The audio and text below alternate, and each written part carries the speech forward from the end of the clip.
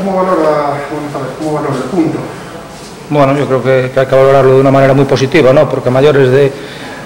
de empatar es, es, como empatas y, creo que, hoy el Arenteiro pues, ha, ha empatado en el Vera Boquete con, con merecimiento,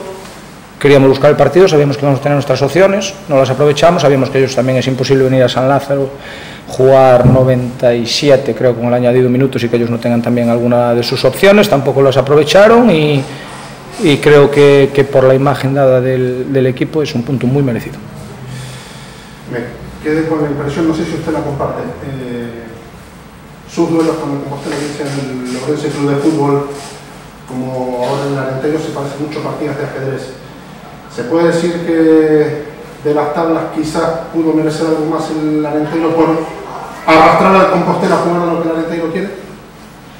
Sí, el Arenteiro quiere, quiere jugar al fútbol, quiere tener el balón, quiere, quiere defender al Compos y, y sabemos lo que tenemos delante, ¿no? que probablemente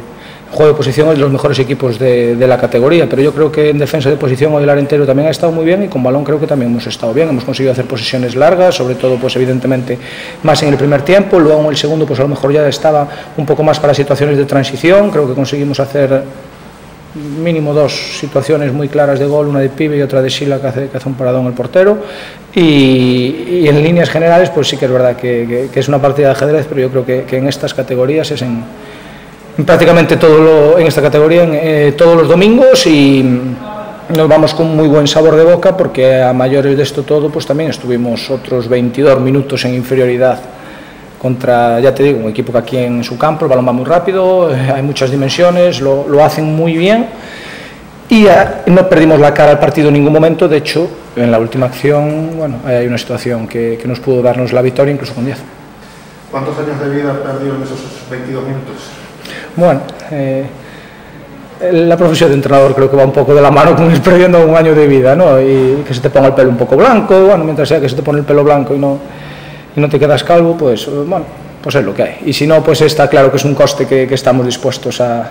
a, pagar porque nos apasiona esta profesión y nos apasiona el, el poder venir con, con equipos y, y, y, con los chicos y cómo han venido hoy, cómo han trabajado la semana, cómo han preparado el partido, cómo no hay un solo jugador del Arenteiro que no haya dejado absolutamente todo en el terreno de juego, se hayan vaciado y, y, al final esto para un entrenador creo que es lo más difícil de conseguir y tengo que trasladar también y aprovechar este momento para hacerles ver a todos el orgullo que siento de, de poder trabajar con ellos en el, en día a día, en un año en el que estamos aprendiendo muchísimo, estamos creciendo con el paso de las semanas y de las jornadas y sobre todo nos hemos competido un equipo que, que compite y que da guerra en todos los lados.